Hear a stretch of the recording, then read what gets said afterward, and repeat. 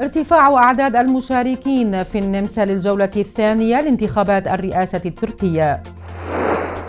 لتحسين الاستدامة النمسا تطالب متاجر السوبر ماركت بالكشف عن الغذاء المتبقي.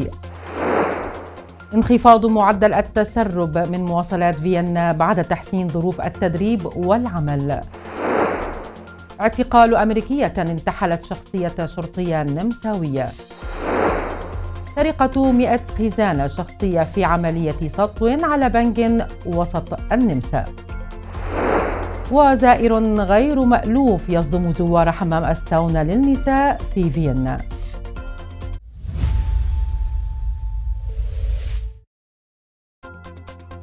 طابت أوقاتكم بكل خير إلى حضراتكم النشرة الإخبارية المفصلة. تأتيكم على النمسا ميديا إلى التفاصيل. انتهت انتخابات الجولة الثانية للرئاسة التركية في النمسا مساء الأربعاء بمشاركة قياسية بلغت أكثر من 63 ألف صوت متجاوزة بذلك الجولة الأولى.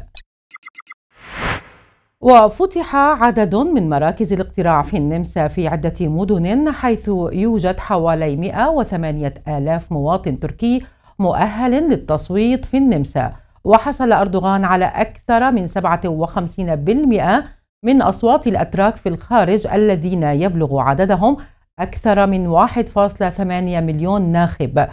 فيما حصل في الجولة الأولى على أكثر من 71% من أصوات الناخبين في النمسا. تقترب النمسا من تطبيق تعديل قانون إدارة النفايات الذي سيتطلب من محلات السوبر ماركت المحلية الإبلاغ عن كمية الطعام المتبقية أو الذي أو التي يمكن التبرع بها.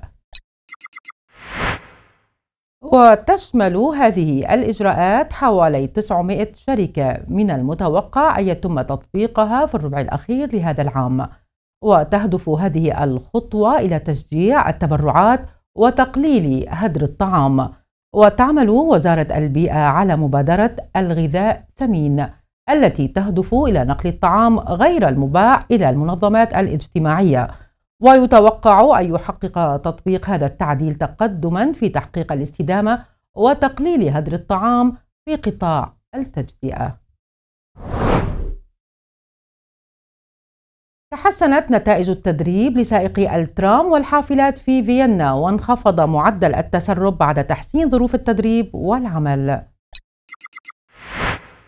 وأطلقت شركة فينر لينين برنامج مكافحة نقص العمالة قبل خمسة أشهر والذي أثمر نتائج إيجابية حيث انخفض معدل الانسحاب من التدريب بنسبة 50% ويتم التخطيط لدورات تدريبية لهذا العام في 31 مدرسة مدرسة ترام و20 مدرسة حافلات و20 مدرسة للقطارات تحت الأرض وتم تحسين الرواتب والبدلات وتقليل ساعات العمل وتقديم حوافز طويلة الأجل للسائقين.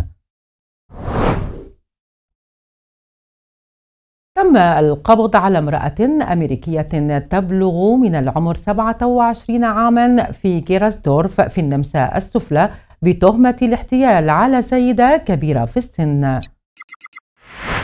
وتلقت امرأة مسنة اتصالا من الأمريكية تبلغها فيه أن هناك محاولة اقتحام لمنزلها وسرقة أموالها. لذلك عليها تسليمها للشرطة مؤقتا. ولكن المرأة استشعرت خطر الاحتيال وأبلغت الشرطة وتم اعتقالها في كمين ونقلت المتهمة إلى السجن. ويجري التحقيق لكشف شركاء آخرين لها والبحث عن جرائم مماثلة.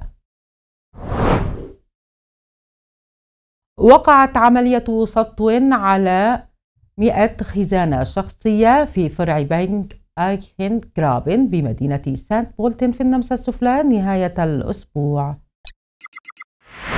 ويعمل البنك حاليا على فحص قيمة المال المسروق.